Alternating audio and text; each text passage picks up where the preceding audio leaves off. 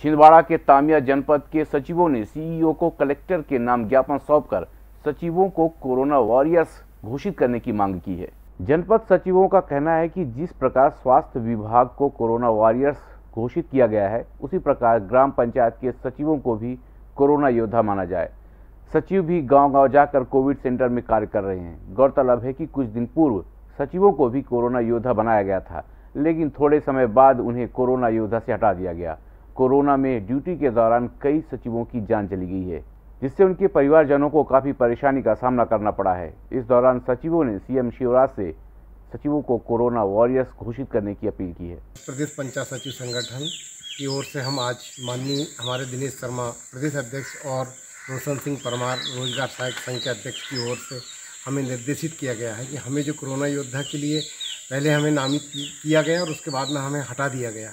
तो हम सरकार से निवेदन करते हैं, माननीय कलेक्टर महोदय के माध्यम से पत्र भेजना चाहते हैं कि हमें 9 मई तक, हम जो अल्टीमेटम दे रहे हैं 9 मई तक, अगर हमारी मांगों को पूरा नहीं किया गया तो फिर हम माननीय अध्यक्ष महोदय के निर्देश अनुसार आगे हम इस का विरोध करेंगे और संभवतः अगर अध्यक्ष जी का आदेश होता है तो हम इससे काम बंद, कम, कलम बंद हड़ताल भी करने पे बाध्य संगीत की स्वर लहरियों से सांस्कृतिक ताने बाने तक। चंबल के पीड़ों से नक्सलवादियों के गढ़ तक। झोपड़ी से महलों तक। ठेलों से मेलों तक।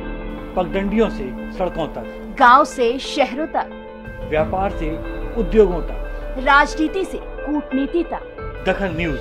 आपके हक।